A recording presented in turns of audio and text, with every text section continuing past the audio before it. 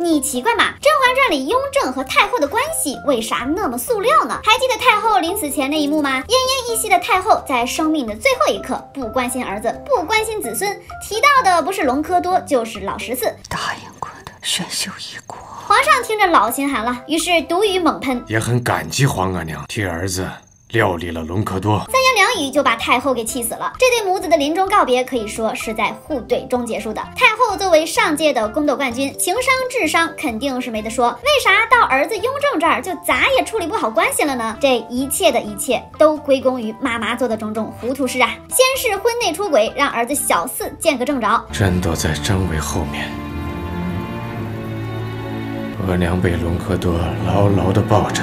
年太后和年羹尧啊，呸，是隆科多啊，和多多爱得轰轰烈烈。乌雅成璧只要在选秀的时候落选，就可以顺利嫁给多多小哥哥啦，然后就顺理成章嫁于你。结果隆科多呢，这个渣男为了自家的利益，骗了纯情小姑娘乌雅成璧，故意让她穿了康熙最喜欢的粉蓝色去相亲。选秀时让我穿一袭粉蓝色衣衫，因为先帝不喜欢粉蓝色，我就不会中选。隆科多的姐姐是康熙的正牌皇后，但一直无子。五子皇后就相当于半个皇后，所以为了巩固她姐姐在后宫的地位呢，隆科多忍痛割爱，把乌雅成璧送进宫，帮姐姐一臂之力。这波输出实在是有些渣呀！你让我入宫，只是为了要扶持你姐姐孝义仁皇后在宫中的地位。成璧依然逃不过初恋情怀，他恨先帝选中了自己，就是舍不得恨隆科多，所以冒死也要和隆科多私会。但两个人都没想到，在阴雨天互诉相思之苦的时候，张维后面还有一个旁观者。胤禛从没想到自己的妈妈是这样不守妇道的坏女人，登基后也在常常安慰自己，老妈当时和隆科多一定是在彻夜研究剧本吧。雍正 boy 坚信，只要老妈肯主动除掉隆科多，那就能洗白自己，儿子这一关也就迈过去了。可没想到太后。开始找各种借口帮隆科多说话，都是为了皇帝的声名啊。隆科多是孝义仁皇后的兄弟，你名义上的舅舅，在四大爷爆发的边缘不停试探。隆科多结党营私，保荐官员，这些事情太后居然都默默认可了。自己亲妈不帮着自己，反倒帮着老情人。小时候见到老妈婚内出轨，三月初三上巳节是什么日子？皇额娘比儿子更清楚。长大又证实老妈余情未了，有两小无猜之情。皇阿玛不知，不代表儿子不知。就这样，雍正单方面宣布和妈妈开始冷战。紧接着，母子关系。彻底破裂的导火索来了，他们一起迎来了如何处置隆科多。对于太后来说，这可太难了，一面是昔日老情人，一面是急于坐稳皇位的儿子，保全儿子的颜面声明。千般不愿意之下，太后终于迈出了这一步，亲自处置老情人隆科多。太后毒死隆科多之后，结果给四大爷闹了个一病不起。太后的病是因症而起，太后。恨朕都说不准。太后病是真的病，伤心也是真的伤心。这一次算是亲妈主动冷战儿子。站在太后的视角来看，这个妈太难当了，帮着皇帝除掉了年家兄妹，又咬着牙替皇帝杀掉隆科多。按理说妈妈为儿子做了不少事儿，咋儿子还不满意呢？因为他没有 get 到皇上对他的恨不止这一点儿。太后插在皇上心里最深的一根刺，其实是宜修。宜修从头到尾都是太后选定的人，皇上喜欢宜修吗？看过剧的人都能体会到吧？不喜。喜欢夫妻俩长期过着初一十五的日子，这也就忍了。但涉及到残害皇嗣的时候，太后居然还在给宜修撑腰。子嗣凋零了，最多让皇后去中司门罚个站。后嗣稀少也是中宫失德，你去中司门站一会儿，好好想想哀家的苦心吧。在老太太心里，只要威胁不到皇后的位置和家族的荣耀，咋整都行。可皇上忍不了啊！查到宜修害死了纯元，还害死了他无数个 baby，我靠！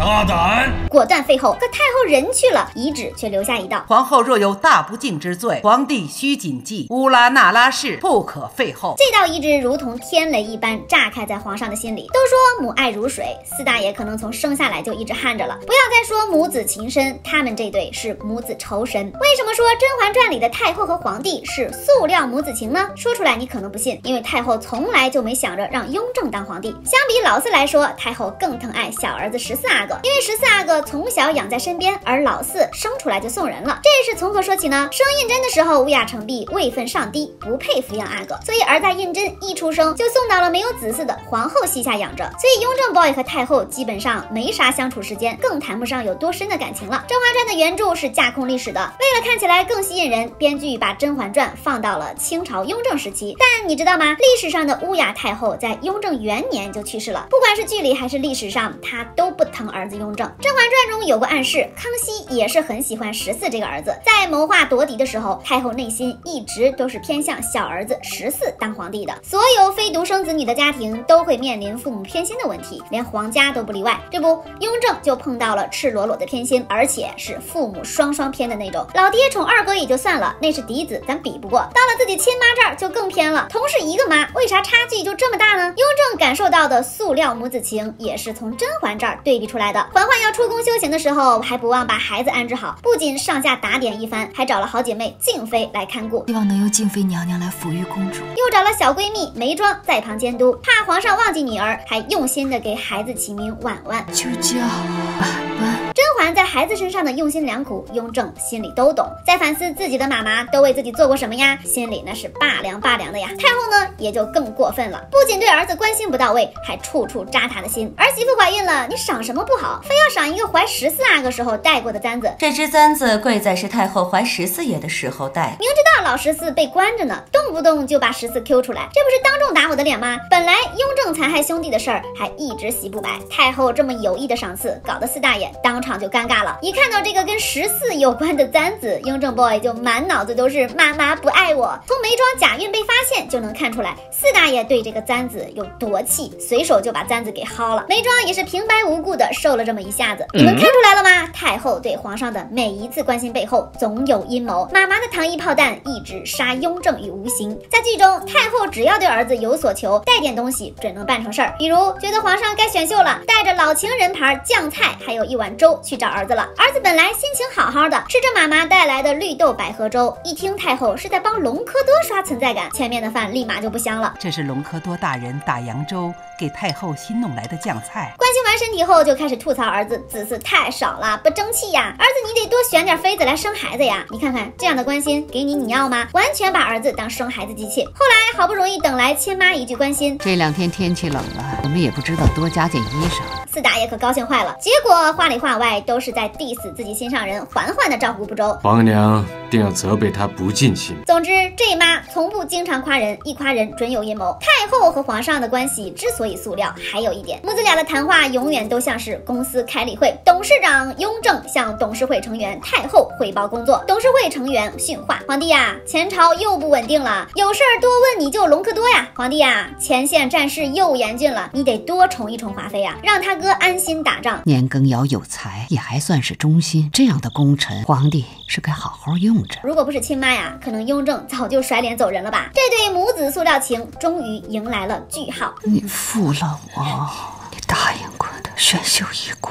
太后临死了还想着情人隆科多，这波操作给雍正直接整不会了。小维尼熊眼睛一眯，只能装作训人的样子来掩饰自己的尴尬。不是嘛？皇额娘还在呢。太后闭着眼想的是情人，睁着眼想的是十四，一句都不带跟前的老四。怎么还不见老十四？四大爷当场就想哭，结果太后先发制人，眼含泪水，非要见一见老十四，装可怜是他救出十四的唯一一根稻草。可惜雍正才不给亲妈面子，哼，想要十四出来门都没有。行，你狠。接着老太太来了一波诅咒，连自己的弟弟都不肯放过，你会落得六亲不认、骨肉分离的。为了另一个儿子这么诅咒四大爷，老四你怕不是充话费赠的吧？所以啊，这对母子塑料情真不是雍正在中间搞事情，完全是太后这个亲娘做的啊！可怜我们四大爷还在奢望妈妈给自己唱儿歌，这样哄孩子的歌从来未对我唱过，你能为我唱一遍吗？到死还得带着太后偷情的阴影。皇阿玛他是天子啊！这是唯一一次觉得雍正惨兮兮。好啦，本期视频就到这里啦，别忘了给我点赞评论呀！关注冷婶儿，每天分享你不知道的后宫趣事。